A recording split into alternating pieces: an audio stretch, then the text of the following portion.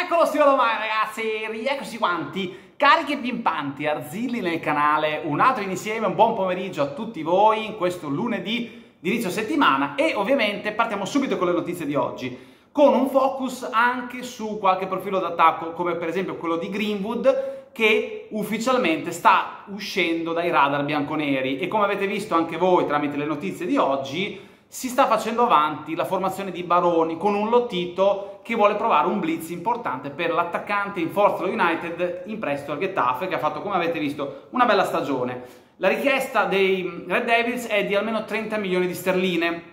mentre quella della Lazio biancoceleste è di 20 milioni di euro con una postilla inserita eventualmente in un contratto con la rivendita al 50%, rifiutata immediatamente dallo United che non vuole sentire ragioni. Quindi diciamo che la Lazio in questo momento si è inserita a capofitto in questa trattativa. Ripeto, non mi dispiace perdere diciamo, questo attaccante anche in virtù di quello che si è detto a livello di extracampo, perché come ho detto, secondo me ci sono altri profili sondati da Tiago Motta e Giuntoli che possono fare al caso nostro. Quindi anche questa è una notizia abbastanza clamorosa se si pensa perché per il classe 2001 la Juve era veramente avanti con appunto l'idea di, ehm, di andare su lui. Poi, siccome si è fatta avanti la, la diciamo... Mh, mm, anche la concorrenza, lo United ha alzato il prezzo fino a 50 milioni ed è per quello che Juve si è un po' spaventata, anche perché non avrebbe senso privarsi di Chiesa e poi aggiungere anche soldi per lo United. Ecco perché non sarebbe mai potuto funzionare nemmeno questa tipologia di scambio. Poi, Rabiot, altro rebus per lui, perché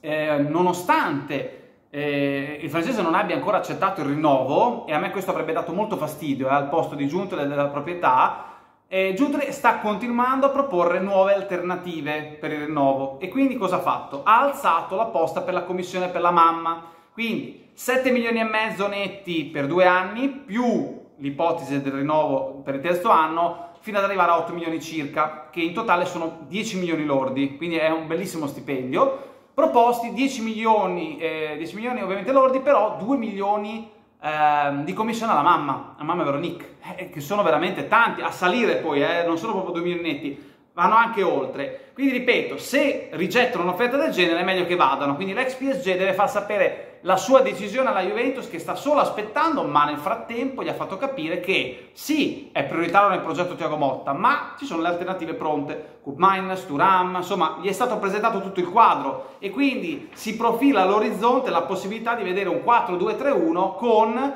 Turam e Douglas Luiz, Fagioli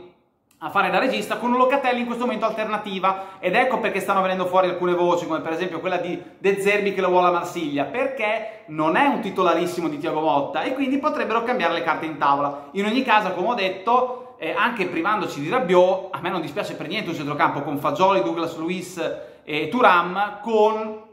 ovviamente i dovuti eh, rincalzi, i dovuti innesti e comprimari. Ecco, l'altra notizia importantissima da dare in virtù proprio del trasferimento di Douglas Luiz in bianco-nero, Ealing Junior che farà le visite mediche insieme a Barnecea all'Aston Villa, il primo sarà Ealing Junior però, con le visite mediche fissate eh, ovviamente per martedì, se tutto va bene domani, ma potrebbe slittare fino alla fine di questa settimana, adesso vedremo. Ci sarà una firma che arriverà molto presto in un contratto quinquennale fino al 2029 con i Villans quindi Emery molto contento di, di, questo colpo e appunto gli esami medici sono già preparati con un Barrenecea pure che si aggregherà alla, alla squadra inglese e dentro questa settimana, quindi questa fine settimana, anche lui firmerà questo contratto con l'Aston Villa. Secondo me loro hanno comunque preso due giocatori ottimali per tenere l'asticella comunque a un certo livello anche per la prossima Champions League e per la prossima Premier. Ecco, ovviamente l'abbiamo già ribadito anche in mattinata, eh, Douglas Luiz farà le visite mediche domani negli States durante la Coppa America per poi aggregarsi direttamente al gruppo squadra a ridosso del 10 luglio, quindi sicuramente verrà acclamato con una grande folla, lui e la, la compagna, l'amorosa, quindi so che ci sono già delle trasferte organizzate